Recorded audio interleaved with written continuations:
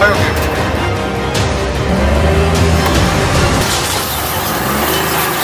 O exercício Coyote 181 visa o treino e a validação do Esquadrão de Reconhecimento da Brigada Mecanizada.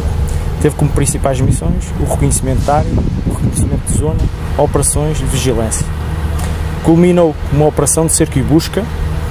Eh, o exercício está englobado no treino e no aprontamento da força para a European Union Land Rapid Response 2018.